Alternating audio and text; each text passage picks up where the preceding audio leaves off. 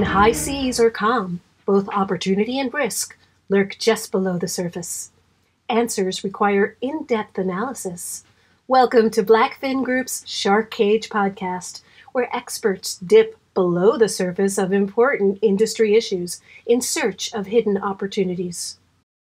Good day, folks, and welcome to the Shark Cage Blackfin's podcast series. My name is Keith Kemp, President and CEO of Blackfin. I will be your host today. First, a special shout out to all Blackfin's preferred partners LoanPass, Mortgage Flex, Constellation Mortgage Solutions, IE Emergent, FlowFi, and Cloudvirga, and really so many more preferred partners uh, all doing absolutely great things for the industry. Uh, second, a shameless plug for Blackfin. We are the industry's best resource for everything and anything you need uh, in mortgage banking. Folks, nobody really knows the industry more than Blackfin uh, from top to bottom. So anything we can help you out with, let us know. All right. So today, please join me in welcoming my colleague here at Blackfin, Michael Harris. Michael's partner and managing director of our servicing and default servicing consulting practice at Blackfin. Michael, welcome to the Shark Cage. It's great to have you here. Thank you, Keith. I really appreciate uh, being here and I'm very excited. Cool. We're going to have some fun discussion today. But before we get into today's discussion, around the current state of ser- servicing and default servicing, let me take a minute, folks, and introduce you to Michael and highlight all the amazing things that he, that you've done, Michael, in the industry these last several decades. Uh, frankly, it, it'll help people realize you kind of know what you're talking about when it comes to today's discussion on on on default servicing and the state of servicing. Michael has over 20 years experience as senior executive in default servicing and mortgage servicing. Uh, he he and his team uh, are subject matter experts in all things around strategy and servicing, investor relations, process, compliance requirements, Fannie Mae technology, effective servicing, uh, staffing strategies for servicing and default servicing, all the ebb and flow that takes place there based on industry trends. Prior to Blackfin, Michael was the president and CEO of Genic Asset Management, specialized in default servicing. He's led default servicing asset management and technology companies and has proven leadership skills and a track record of managing superior operational performance while maintaining an innovative growth and productivity and quality. Over the years, Michael has really developed a diversified mortgage service background, including developing the pilot outsourced management programs for Fannie Mae, Freddie Mac, and HUD, as well as working at, uh, with the top mortgage servicing and capital markets organizations. Uh, he's a Six Sigma black belt. Uh, strategic leader with ability to apply qualitative and quantitative analytics to really ensuring maximum servicing and uh, uh, default servicing results. Uh, Michael lives in Orange County with his family. He's an active member of his community do miss being in the Orange County area there with you, Michael. But uh, one of these days, maybe we'll get you to Colorado uh, to to be able to be hubbed out of here. So, uh, Michael, it's really cool to have you, and and look forward to today's discussion. So let me go ahead and jump into kind of our our my first question, which is really based on the current state of servicing. Um, so let me start by asking you, and so our listeners can have a basic understanding of what's going on in the servicing and mortgage servicing space. Michael, what are some of the silent trends that are creeping up? What is the current state of mortgage servicing, default servicing? What does it look like the next six to nine months? What do you see in your crystal ball? Yes, Keith, I think that, you know, some of the things that we are talking about, you and I have talked about, as well as my conversations with my uh, fellow partners in the industries, is really talking about kind of um, these shadow indicators uh, related to default trends. And allow me to explain. Um, as we all know, originations are down as it relates to uh, mortgage starts uh, which is one component, but we look at what is in the pipeline for default, specifically foreclosure. So let's take a step back in time and look at prior to the pandemic, where we had a fairly significant amount of foreclosures start to creep up, particularly um, in certain states. But not only that, before that, we had defaults start to rise with the pandemic, we had a significant amount of obviously moratorium initiations where we had foreclosure default um, halts or stoppages. Those are still out there. So when you see right now foreclosure rates, those are all new foreclosure starts, which are starting to creep up a little bit, as well as delinquencies and defaults. But the real telling tale is there are a tremendous amount of foreclosures, tens of thousands, if not hundreds of thousands of uh, foreclosures that had already been started, that had been halted, that are now being put back into play. And that wow. quote unquote shadow inventory is something to be concerning because it's going to have an impact on the ability for lenders and mortgage servicers to manage their inventory. So as we see def- delinquencies and default to creep up, we also have this glut of for uh, properties in foreclosure and specifically eviction in foreclosure staying there, and all these moratoriums are now expiring. Um, definitely going to impact on resource allocation and the ability for lenders and services to manage those activities.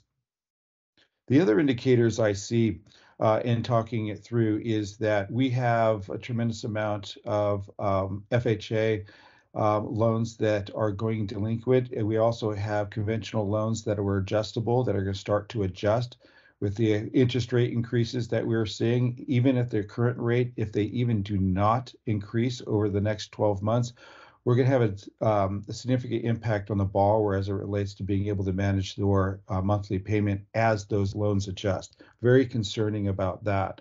Uh, one of the reasons we're having this conversation, Keith, is that we want to talk to servicers, we want to talk to lenders, we want to talk to those in the industry. How are they going to manage the new influx default activity, mm-hmm. considering or assuming that they really haven't focused on this in the last 10 years? Uh, one of the things I will say is that nobody expects that default, delinquency, default, foreclosure, REO will ever hit the marks that we had in 2010, I'm sorry, 2007 to 2011, 12. Um, I, you know, that was an anomaly. I think that most lenders, servicers do have their loss mitigation forbearance modification programs uh, very much up to speed, very sophisticated compared to what was 10, 12 years ago. However, I still see uh, um, an impact and an influx of those types of activities. And again, let's you know let's get in, uh, in partnership with servicers and uh, lenders to to help them manage these activities. That's really insightful, and I I know I'm going to go completely off script on you here, Michael, but in in that probably was a good experience, or at least preparation. You know, in every bad there's good, right? So maybe out of the bad of of what we dealt with when it came to COVID, and the forbearances and that all that getting structured, like you said, in in in pretty good shape. How would you say that what's ahead of us really compares to uh, uh, back in 2008, 2010, 2011, and the mess that we had to deal with there? What are the significant changes? Is it that lenders have a little bit better lead time? Uh, to or servicers and sub-servicers that have a little bit better lead time now to prepare accordingly, as opposed to how uh, uh, uh, uh sudden and abrasive it was back in 2010, 2011. So let's go back to the origination. Um, it really starts with the, the, types of loans that are being produced and being originated. It's significantly different, as we all know, compared back to 2003 to 2007. Um, obviously, the more, um, sorry, the uh, government regulations as it relates to the types of loans, uh, borrower qualifications, et cetera, greatly reduced uh, the type of um, of uh, questionable loans and questionable qualification of borrowers for these loans as a comparative back to the um, early 2000s. So that in and of itself helps the process. The other is is that uh, with the compliance regulations and requirements that have been in place for the last 12, 13 years, obviously servicers and lenders are required to maintain certain types of levels of compliance as it relates to managing existing performing loans, not from origination, not only from origination, but through performance, and then all in all into delinquency and default. And as I'd mentioned, um, you know, the uh, the ability to manage those loans, forbearance programs, modu- uh, modifications, workouts, uh, all those types of things are much more sophisticated than we were back in the two, early 2000s. But the other side of it, you mentioned, you know, um, uh, the expectation in terms of speed and and um, the occurrence is that back in the early 2000s, we had just an absolutely um, huge rise in foreclosures in a very short period of time. Most of the individuals I speak to uh, in the industry are, are not expecting that to happen this time. We will have an increase, as we were talking about, but I think it's going to be just a little bit more of a slower burn. Okay. Um, and so instead of happening within a year, it's probably going to happen with more than within like two years, maybe two and a half years. Uh, so it does allow servicers and lenders to be able to prepare and obviously, um, you know, create the, those um, types of resources, those types of tools to manage uh, delinquencies, defaults, and foreclosure activities. So that's a big help. Okay. But So, so Mike- let me, let me ask you Sure. then, what, what kind of strategic planning should lenders be doing with that, with that uh, outlook and that it would be a slow roll? What kind of strategic planning should lenders be doing today to prepare for what's on the horizon? I mean, our industry is notorious, not just lenders, but servicers, subservicers. Our our industry is notoriously heads down on reacting to the news of today maybe looking two to three days ahead with some light strategic planning. So, what do folks need to do today to pretend to prepare for this slow rise while tempering how much time and effort they invest into their strategy as things could change fairly quickly. I mean that that's the challenge of our industry is that things change so quickly. So how much do I invest in strategic planning for tomorrow knowing that, you know, while I'm I'm aiming for point A, I may end up at point B. Uh, it, so how how does a lender balance that, Michael? What what what kind of strategic planning do they do today? So I think really it comes down to kind of three tranches. One is is looking at what type of resources you have in the default um, section of your of your uh, company. The other is looking at what types of policies and procedures you have in place to make sure that you are compliant. And lastly is how are you going to manage your reporting, your borrower outreach, et cetera. So let me take a little bit deeper dive if you don't mind. One is, is that and it relates to resource allocation, obviously many resources within an organization has been supplied towards origination for obvious reasons, and not so much in default. And it was very similar to what happened back in the early 2000s. The same kind of shift happened, it just happened much more quickly, as we just mentioned, where servicers had to quickly shift and move resources into default, and we're caught a little bit behind the curve. And we saw the outcome of that. Uh, this time around, as we just talked about, I think there's a little bit of a slow burn. So the ability to be able to reallocate resources. When I say resources, it's personnel, it's expertise. And I talk about personnel, personnel and expertise. Do we have the right people in the default seats? Are you going to just repurpose those individuals who've been focused on origination and, and repurpose and retrain them for default? Are you going to bring new people in to manage those default activities? uh, borrower outreach, outreach, all the loss mitigation um, associated processes, um, and uh, borrower contact, et cetera, or maybe even outsource those activities, looking for third parties. Is that more cost beneficial to your organization as opposed to uh, training and rebuilding within? Uh, the second, when I talk about expertise, do you have the right people in the organization that understand the process, understand the compli- uh, compliance requirements? Do you have a compliance team? Uh, do you uh, kept keep up with compliance and regulatory requirements? And those are really big factors in terms of making sure you're maintaining the right processes, policies, and procedures in your organization, not only to be effective and efficient for yourself, but obviously for your borrower as well. And from that perspective, how do you make sure? How do you check yourself and making sure that you have all these things, these checks and balances in place? And it's not, you know, uh, it starts with delinquency, getting in front of it, getting in touch with the borrower, making sure you're in communication with the borrower, make sure you have the right documentation, etc. But then moving into default, what are your workout activities? What are your options there? Do you have a, a nice suite of options for, for the borrower to make sure they don't get into serious trouble and being able to obtain, retain or retain, make that loan become reperforming? And then lastly, if you get into late stage default and there's no coming out, well, how are you going to manage your foreclosure action? And what is your strategy for closure? Uh, when you come back and how are you going to manage the, the collateral, the real property? from an inspection, from a maintenance, from uh, resale, um, you know, the actual trustee sale, which your bidding process. There's all sorts of nuances related to this that create tremendous amount of losses for lenders and um, and for services, and obviously for the borrower. That's really good. Uh, those are really valuable points, Michael, as to what what kind of fine tuning and and uh, strategic planning they guidance uh, that that folks need today. Let me uh, tremendous insights. Thank you. Um, my my.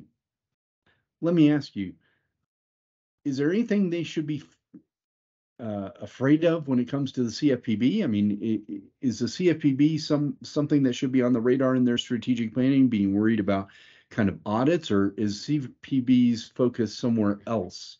Uh, and they don't need to be as necessarily worried about, uh, you know, them coming and tapping them on the shoulder for a quick audit, and you know, to make sure that their policies and procedures are in place and and that they're servicing the customer accordingly, or uh, it, it, you know, is that a legitimate concern right now? So that's a great question, Keith, and allow me to respond. Is that you know I don't think CFPB is a threat. I think you need to embrace it as your friend. CFPB is there for a reason. It's to keep everybody in check. It's to protect the borrower, and it's to protect the lending institution as well. And so, from that perspective, I do think that CFPB, as we're talking about, the CFP will shift their um, their microscope from origination to servicing and now back into default. And as things will fall out when they find that they are th- there are activities with the default that maybe they need to tighten down, they will come up with new regulations. They will change some of the requirements, and you need to be ahead of that, or at least abreast and in tune with that, and understanding how you need to adjust your policies and procedures to make sure compliance. Um, so, you know, again, as you shift and as the industry shifts from origination to default, so will CFPB. But again, I really believe the best practice is to embrace CFPB as a partnership in maintaining your relationship with your borrower. That's good. Very good perspective. Thank you. I was absolutely curious of that uh, as to how people should be looking at CFPB, and I, I, like your your point that they should be seen more as a friend and not a uh, foe, and really plan accordingly, uh, just to make sure that you you have your ducks in a row. So CFPB actually is a good tool to hold yourself accountable. Uh, and the more preparation you can do beforehand, the the less risk you have of having to defend open items or issues or misses. So well doing said. the gap I'm sorry.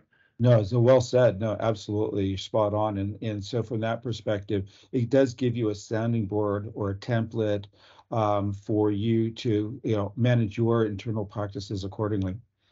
Cool, cool. So we've talked about where the industry's at. We've talked about what strategic planning needs to be done today for what's ahead.